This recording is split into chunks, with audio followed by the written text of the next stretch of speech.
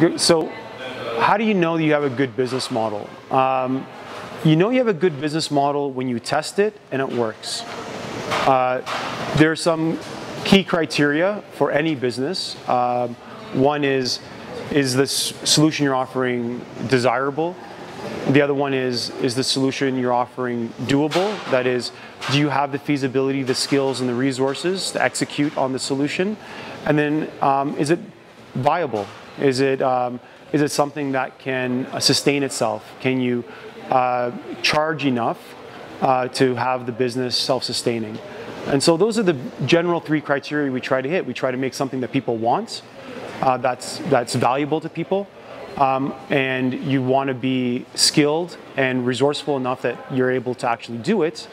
And um, then you want to be able to have impact by having the solution actually sustaining so that um, the solution lives on and, uh, and you have money for reinvestments and for growth.